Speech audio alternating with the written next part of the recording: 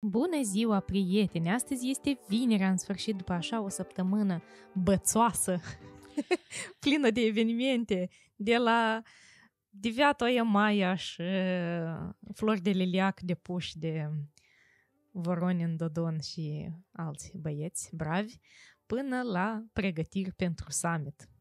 Salutare, salutare aici la microfoanele Agora. Felicia Nedzielski a fost cea care v-a salutat mai devreme, editora pe subiecte de autor la Agora. Și femeia asta împământită care o decis să spună cine suntem noi ăștia, să... niște oameni ca chit. Victoria Dumbrava, redactoră șefa Agora.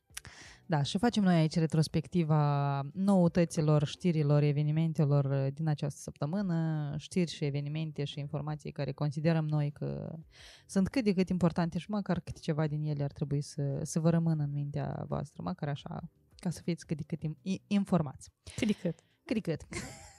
Așa și trebuie să numesc, numesc podcastul ăsta, cât de cât. Cât de cât. Așa că hai să... Felicia a început și a zis că a pornit săptămâna de la 9 mai, așa că mm. pentru unii toți bugetarii, am vrut să zic unii lucrători, unii muncitori, dar uh, au fost oficial două zile de odihnă. Uh, pentru alții care nu sunt bugetari au fost oficial două zile de muncă pline. Da? Și în mare parte ne oprim la ziua de 9 mai da, cu 8 ca 8 de-am Dumnezeu cu dânsa. Da. A, și 9 mai din acest an, cum ți s-a părut, Victoria? Din ce ai urmărit tu? Eu am vrut un pic să spun asta la sfârșit după ce facem retrospectiva acelei zile și menționăm toate detaliile, dar dacă tot mai întrebat,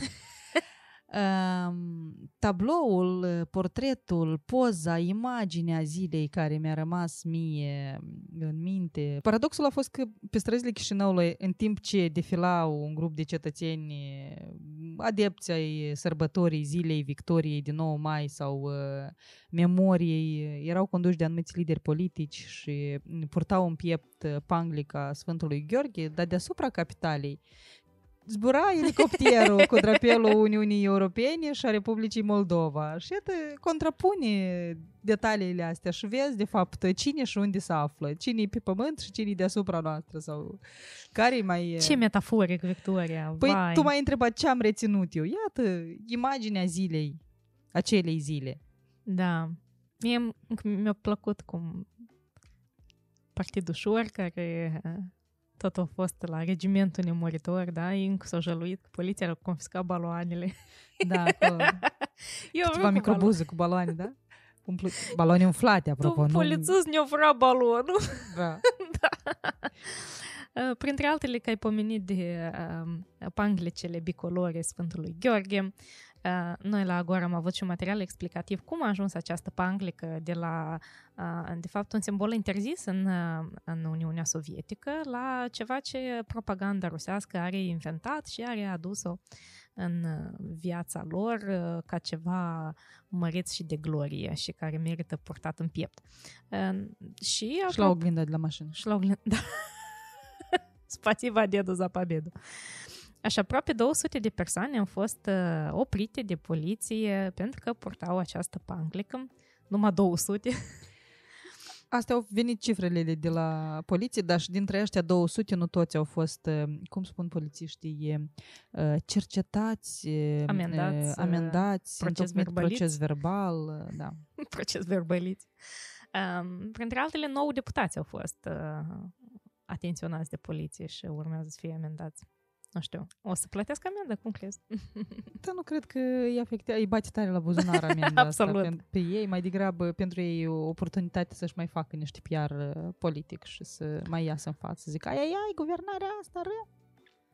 Da, și lumea care a fost la eveniment, tare colorată anul acesta. De exemplu, cum ți-a plăcut Severul? Da, am fost la Neni noi la Nord. Suntem Apropo, la nord, la sever. Tot acolo o să vină oficialii europeni la summit, da? La, la nordul la Republicii. A, asta a fost bună tare. Și, desigur, nu s-a ales evenimentul, nu s-a putut uh, produce fără uh, Igor Dodon, care... Secretarul executiv al Partidului Socialiștilor, da? Между прочим. care aparent toate declarațiile este, el le-a dat ca să fie citat de Ria Novosti, nu, nu pentru altceva. El, el la noi nu a apărut, la, no. la noi mă refer în media din Așa, Republica Moldova. Iar Dodon la, la regiment, dar în schimb omul nu, nu știu ce face. El отработка de... La Ria Novosti a fost da. principalul, principala sursă de știri, da? Da, absolut. Și și-a exprimat admirația față de Vladimir Putin și a zis că e, acela e un statalist și un patriot al țării. Nu ca noi. Da, mă lut și drog Vladimir Putin. Dar Vladimir Putin de cealaltă parte la Moscova o cam mărșăluit singuriel, așa fără mult defilare și arătare, demonstrare de forță, cu un singur tank acolo sau Parada a fost modestă, da, într-adevăr. Presa rusă a scris că în acest an probabil a fost cea mai scurtă paradă din toți anii, care a durat puțin peste 45 de minute, așa o lecție de istorie tristă. Iar componenta etalării tehnicii militare a fost și ea undeva 10 minute și a trecut un singur tank, și acela sovietic, un T-34, că unele surse din presa rusă mai independente și mai îndrăzneți au zis că da, și tot e pront. Gata? Sau tot a fost bombit? S-a terminat. Da? Um, au mai fost acolo niște bătăruri și nu știu mai și, niște iscanderi, niște um, lansatoare de rachete, uh, dar într-adevăr a fost uh, modest, modest. Bun. Mai mult ca atât, cineva din presa rusă a observat și oamenii între care stătea Putin la... Că de fapt erau veterani, dar nu chiar veterani. E, unul era cam tânăr și veteran. S-a născut în 34. Dar altul a fost, a fost bă... nu a fost bășnic, caghebist sau cine acolo, încă vădist. M-am încurcat de-am în KGB, încă vedem. Asta e. Uh, și, uh, și ai noștri au dat niște date. Cât, câți veterani au rămas la noi? La noi foarte puțini 50, veterani. 60. Da, în jur câteva zeci de, de persoane încă mai trăiesc pe la noi și își mai aduc aminte liderii politici odată în an de ei. În... Și iată așa, da, 9 și mai ca 9 mai și elicopterul de care vă spuneam la început. Dar tot atunci am mai primit noi o veste de la Parlamentul European care a spus că deblochează din nou o tranșă asistenții financiare pentru Republica Moldova, în jur de 150 de milioane de euro. Cu atât mai mare contrastul, da? Exact, deci, da, da. Spasiba dedu, da, deci și ne dă banul. Da, nu, Părerea mea Una rămâne neschimbată. Exclude, da? Istoria trebuie să o cunoaștem ca să nu o repetăm, dar uh, nu trebuie să uh, glorificăm anumite acțiuni tiranice, despotice și cu siguranță războiul nu este... Mai ales în contextul actual. Exact, un motiv de bucurie. Poliția după ce o confiscat baloanii de la șuar, că a, să mai facem un lucru și au sesizat Comisia Electorală Centrală din Găgăuzia despre acțiunile și încălcările constatate atunci când au fost alegeri. Așa, da? o săptămână trecută. Da. Admise de un partid politic. De oricare. De oricare, de oricare. e vorba tot despre Partidul Șor. Um, printre acțiunile pe care poliția le-a enumerat în sesizare era și coruperea alegătorilor, transportarea lor organizată, uh, plasarea afișelor electorale în locuri nepermise, Uh, datul banilor uh, nedeclarați și tot așa și tot așa. Apropo de Partidul Șor, săptămâna asta a El început izvezda, uh, telenovela la Curtea Constituțională care da. examinează sesizarea privind scoaterea în afara legii. Eu am scris aici trei zile și trei nopți, cam poveștile moldovenești, că într-adevăr durează deja a treia zi acest... Dar nu o să se încheie aici, nu, nu asta... azi. Apropo, acum, în momentul în care noi înregistrăm, în zona Curții Constituționale s-au adunat mai mulți susținători ai formațiunii și scandează acolo cu drapele, cu asta.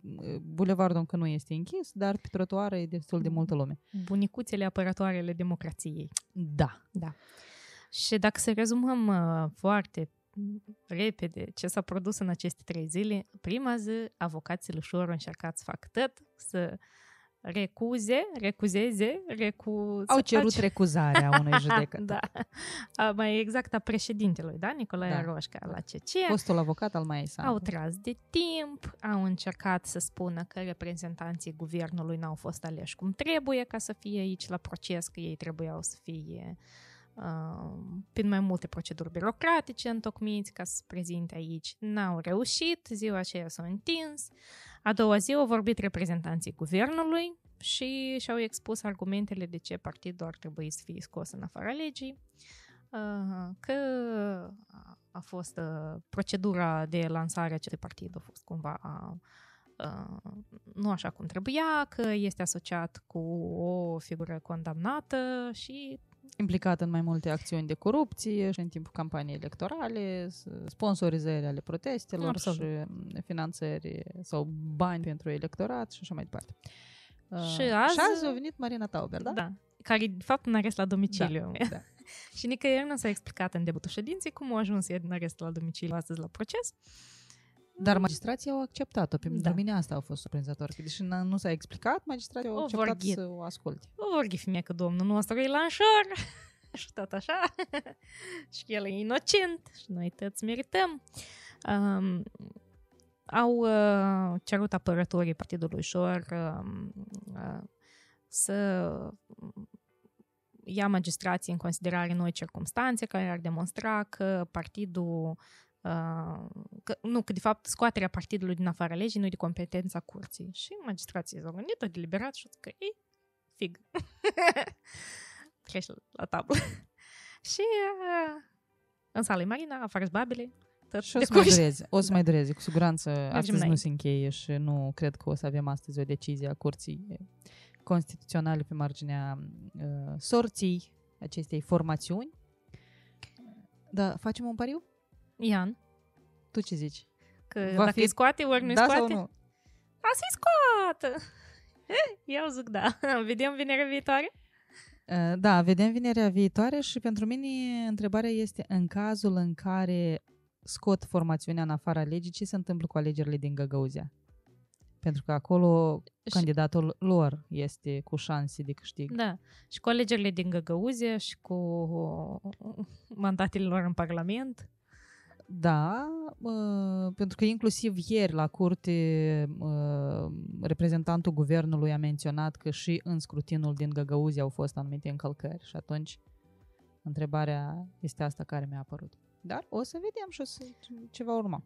Mm-hmm. În Găgăuzie oricum acum duminică e turul 2, așa că, nu știu, reușesc ei până, la, până duminică să scoată uh, o puțin, pe gură. Nu, nu, nu, puțin probabil puțin până probabil. duminică, dar, uh, dar cine știe, dacă ei vor invoca încălcări din campania electorală, s-ar putea să aibă Să fie anulate. Uh, da? da. Mm-hmm. Vedem. Să fie vesel vara. Uh, până atunci, mai se anunță foarte fierbinte, deși afară vremea e așa instabilă, când cu înghețuri, când cu soare. Uh, fierbinte din punct de vedere al evenimentelor care urmează. Pe 21 ne apropiem de Marea Adunare Moldova Europeană. Uh, asta este nu duminica asta, dar cealaltă, da? 21, da. 21. Acum să alegeri, următoarea. Da, ieșim în piață la Chișinău. Uh, pe mine m-au sunat cineva de la PAS să mă invite. Înțeleg că formațiunea este în uh, ritm alert de organizare și de invitare și aducere. Acum, venind spre birou, am auzit-o pe președinta Maia Sandu cu un mesaj la radio. Veniți, stimați da, popori. vă invit să veniți. Deci,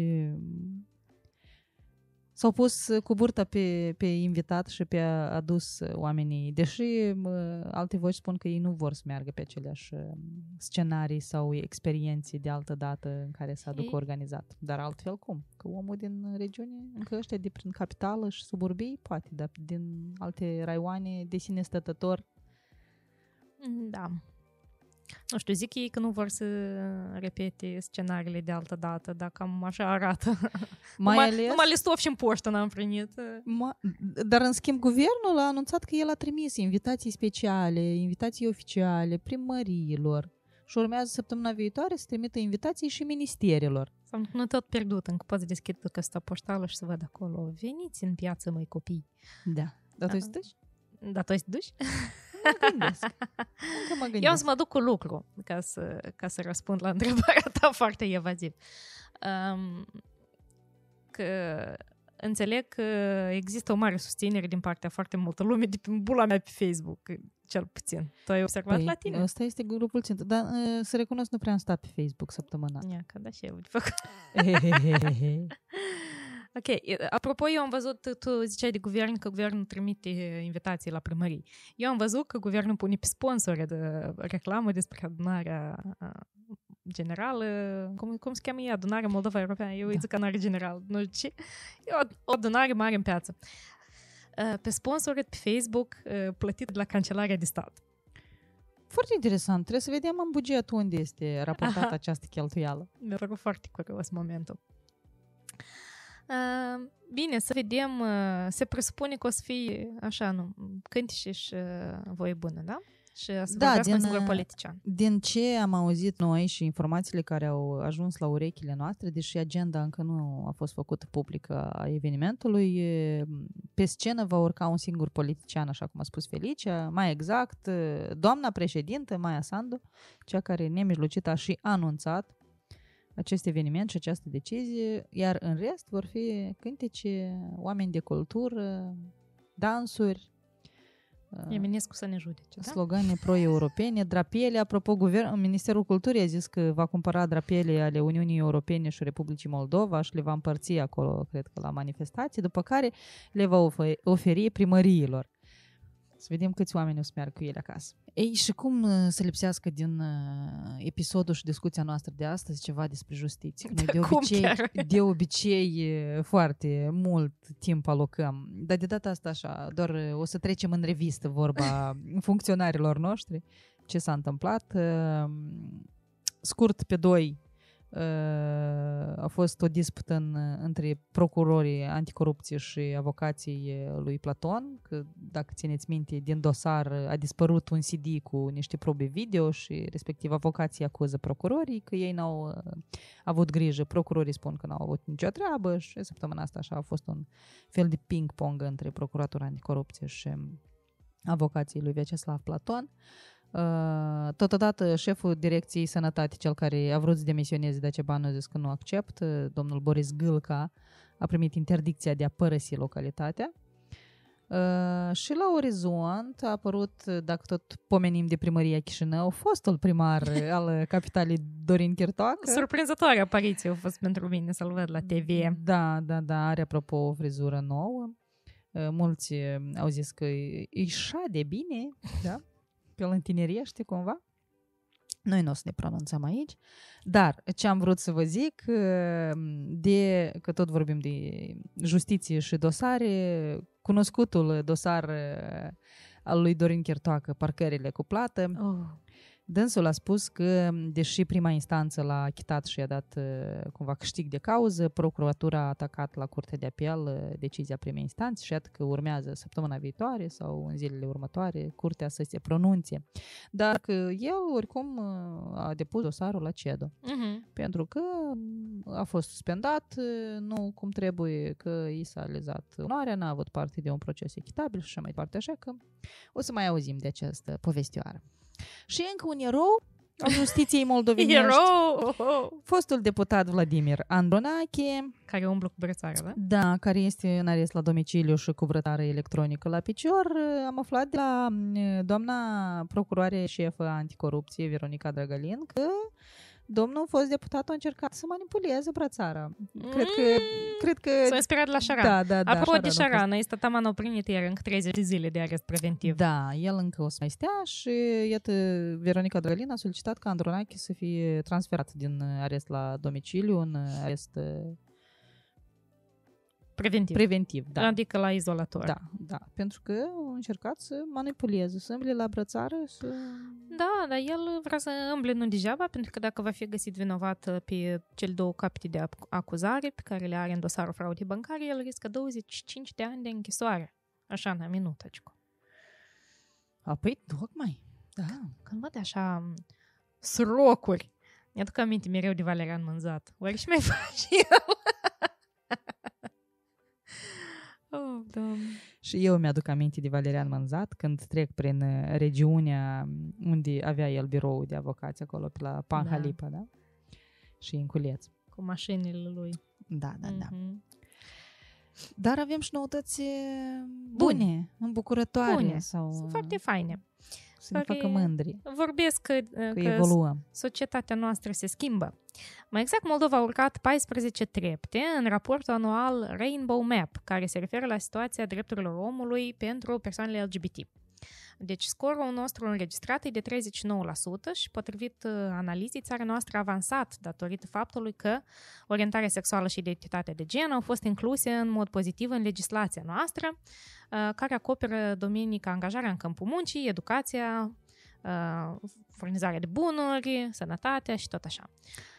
Cum a scris uh, un uh, cititor fidel al nostru pe canalul nostru de Telegram, zis că avem noi destui alți oameni mai puțin ortodoxi în Republica Moldova decât uh, cei care da. sunt de o altă orientare sexuală și nu ne fac atâtea probleme cum ne fac alții. Așa că... Absolut. Uh, între timp, uh, Maia Sandu, în prima sa vizită oficial, nici nu ca sa, a unui președinte moldovean da, în general. Premieră politică, premieră. Premieră, premieră. Primul președinte moldovean care a ajuns într-o vizită oficială în Canada și s-a văzut cu prim-ministrul, da, da. Canadii, domnul Trudeau. Și de acolo am înțeles noi că mai are și întâlniri cu cetățenii noștri din diaspora. Da, și... merge la, la un eveniment în SUA, unde da, ar trebui să se întâlnească acolo. acolo. Da. Uh, trebuie să aibă discuții de business, de industrie textilă, de ceva cu clima, deci... Uh...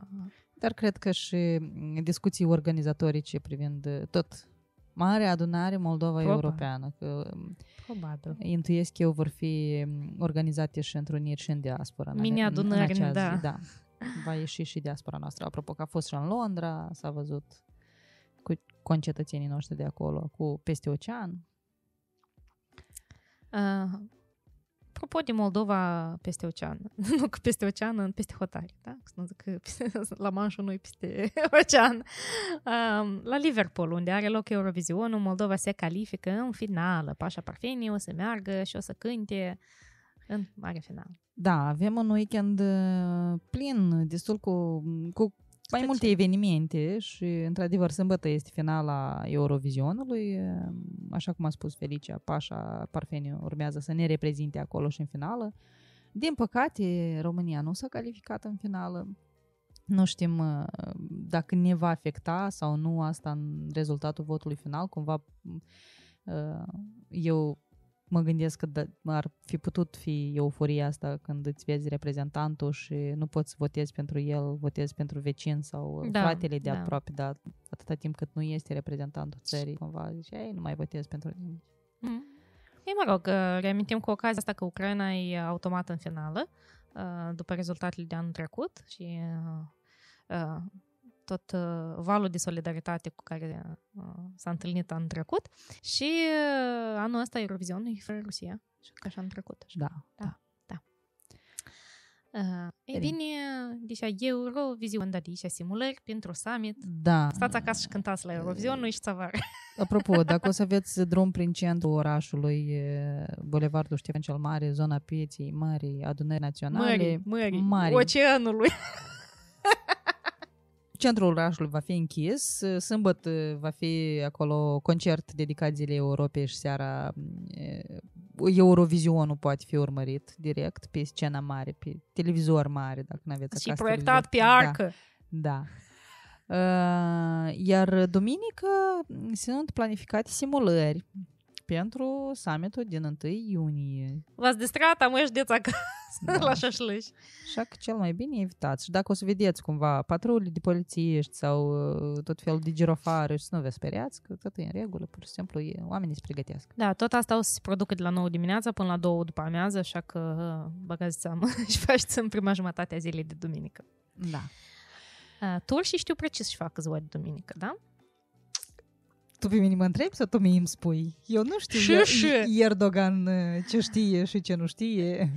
64 de milioane de turci sunt așteptați la urnele de vot pentru că sunt alegeri în Turcia și uh, zice presa că e cel mai dificil test pentru Erdogan în uh, cei 20 de ani de președinție.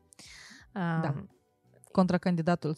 E cam a, la același nivel cu da. Cu... Acolo treaba e încurcată, deci uh, ei merg la la un scrutin la care votează în două direcții, deci alegerile prezidențiale și parlamentare în, aceeași, în același pachet.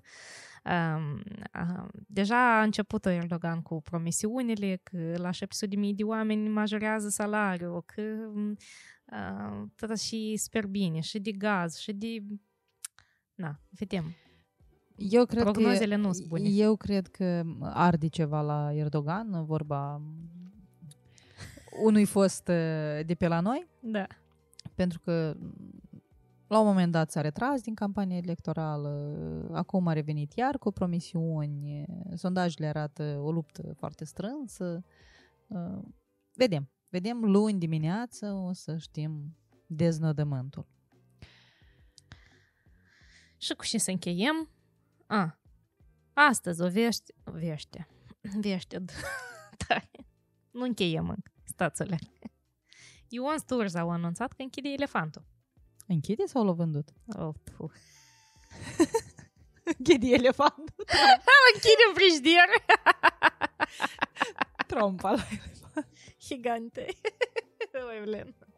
Întrebarea este cine l-a cumpărat. Pentru mine este surprinzător în primul rând că, că l-a reușești să vinzi în momentul în care ai pierderi, într-un an în care ai pierderi, dar uh, l-a cumpărat tot cineva care are afaceri și cunoscător al pieței online-ului. Uh, mai exact, este vorba de Evolution Press System, o societate comercială care operează magazinul online Evomag. Te întrebai tu cum reușește să, să vândă dacă are pierderi. Iată, se zice că în articol se spune că Sturza a spus că chiar dacă noi suntem în pierdere, avem un gros margin mai bun la volume mai mici. Asta e un lucru bun și uh, migrăm, schimbăm modelul de business uh, și uh, o să fie totul bine. Deci ei uh, anticipează că businessul nu se duce la vale, dar că se schimbă ceva, se schimbă... Uh, nu, este adevărat, nu întotdeauna schimbările pot, din potrivă, pot să aducă un suflu nou, mai ales că sunt oameni tot din domeniu care cunosc. Și apropo, ei au cumpărat și magazinul online, nu doar adică domeniu respectiv. Urmează să vedem cum vor evolua. Dar cumva era asociat uh, imaginea Ion Stur de elefant. Nu, asta da, cu siguranță. Nu știu dacă au reușit să se asocieze Twitter cu Elon Musk, dar e ca dar e că nu mai este director general, în sfârșit ați răsflat da, asta, asta voiam să zic, nu știu dacă s-au asociat sau nu, dar mulți s-au bucurat. Slava Domnului! Um, Musk a zis că a găsit un nou director general pentru platformă și că doamna va prelua funcția în aproximativ șase săptămâni, dar nu a spus cine, dar uh, probabil este o mișcare care să atenueze preocupările investitorilor Tesla, care au fost uh, îngrijorați de timpul pe care Musk l-a luat la Twitter, adică s-a spărat și ai lăsat mașina la o parte, uh, lansările de space vrei, să duci, de... vrei să duci Twitter-ul pe Marte și nu Tesla, da? Da, da, da. Te-ai reorientat, alte priorități ți-ai făcut. Noi ne supărăm. și uite așa. Până să clarifice Elon Musk uh, ce vrea mai întâi să ducă pe Marte, Twitter-ul, Tesla sau alte lucruri sau pe el sau însuși. pe Vladimir Andronache.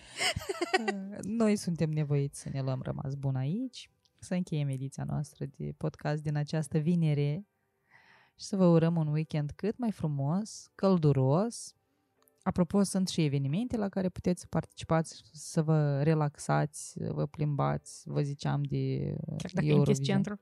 Da, la Grădina Botanică, Ambasada României organizează zile tradiționale românești cu mai multe activități și pentru copii și pentru familie, așa că ați putea merge eventual acolo.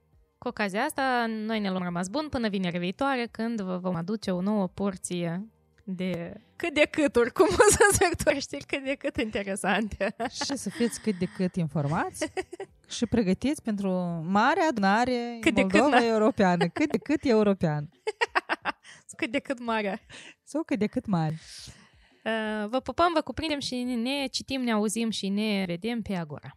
Pa, pa! pa, pa.